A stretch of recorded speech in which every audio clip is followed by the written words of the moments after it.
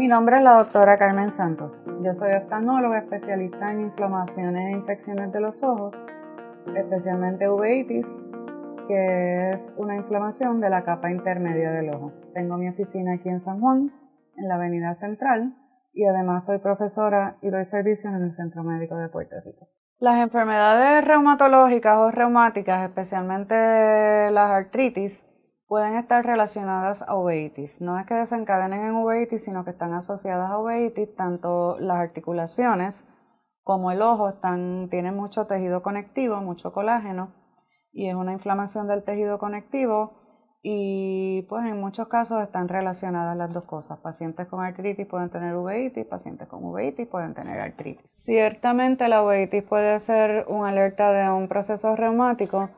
Eh, los pacientes, especialmente adultos jóvenes que presenten con dolor de espalda, que podrían tener espondilitis anquilosante, muchas veces presentan con una uveitis anterior o una inflamación de la parte anterior de la uvea eh, muchas veces esa uveitis puede dar primero y cuando mandamos a examinar al paciente encontramos la artritis. Hay otras artritis como las artritis juveniles en las niñas pequeñas que esas dan una uveitis que no da síntomas. Así que estos niños con artritis desde pequeños hay que estarlos chequeando constantemente con el oftalmólogo porque les puede dar uveitis y causarles pérdida de visión sin que ellos se den cuenta. Porque hay algunas uveitis que ponen el ojo rojo y dan dolor, hay otras que no dan ningún síntoma. Las niñas o los niños pequeños que se diagnostican con artritis, muchas de estas uveitis no dan ningún síntoma, son uveitis crónicas.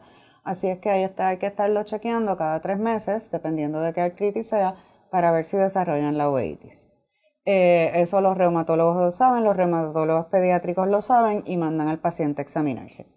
En el caso de que dé la uveitis primero sintomática, los síntomas son dolor o rojo, fotofobia y, pérdida de visión, enrojecimiento del ojo, y entonces pues van a asistir al oftalmólogo, el oftalmólogo le diagnostica la uveitis y ahí se manda a evaluar para el sistema reumatológico. La artritis idiopática juvenil es la que le da mayormente a las niñas pequeñas.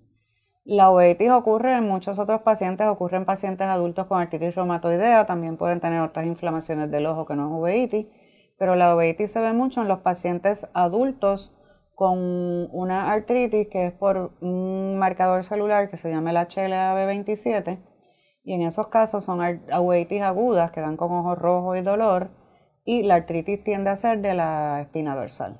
La uveitis si no se tratan sencillamente van a dejar ciego al paciente.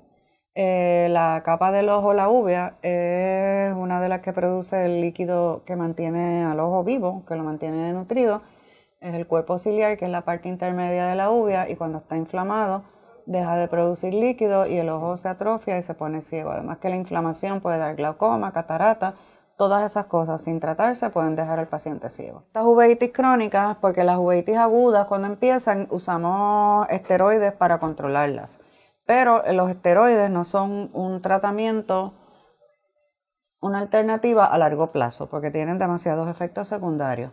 Así que muchas de estas uveitis que son crónicas, lo que quiere decir que nunca se les va la inflamación, por más de tres meses tienen inflamación, a pesar de las gotas que hayamos estado usando, o las uveitis que se controlan, pero cuando se quita el tratamiento vuelven y recurren, pues esto en estos pacientes el uso de cortisona todo el tiempo no es una alternativa razonable por los efectos secundarios, tanto sistémicos, que es osteoporosis, obesidad, diabetes, un montón de cosas, y en los niños peor y tópicos, cuando es en gotas, también dan cataratas y glaucoma. Así es que eso no es una alternativa en el tratamiento y especialmente para niños cuando no se controlan y se quedan controlados sin esteroides. Hay que usar medicamentos alternativos, que son los medicamentos que usualmente se usan para tratar otras condiciones autoinmunes como artritis, lupus, artritis reumatoidea, todas estas cosas que tratan los reumatólogos. El tratamiento de uveitis, cuando ya hay que dar alguna alternativa a la cortisona, eh, se usan, como dije, los, medicamentos que se usan para tratar condiciones reumatológicas. Este, entre ellos está que usamos mucho metotrexate, que se usa mucho en niños, es un, antimetabolito y CELCEP en adultos. Y luego, después de eso, si el paciente con eso no se controla, añadimos un agente biológico. Usualmente el que añadimos primero es Humira, porque es el que está aprobado para el uso de uveitis por el FDA, tanto en adultos como en niños. Y también hay otros agentes biológicos, como el Infliximax, que si el Humira o Adalimumab no funciona, pues podemos usar otros que, que estén en el mercado. Bien importante que vayan a sus citas médicas para mantener su inflamación controlada, seguir las instrucciones del médico y así podemos llegar a un final feliz sin complicaciones mientras se pueda controlar la uveitis.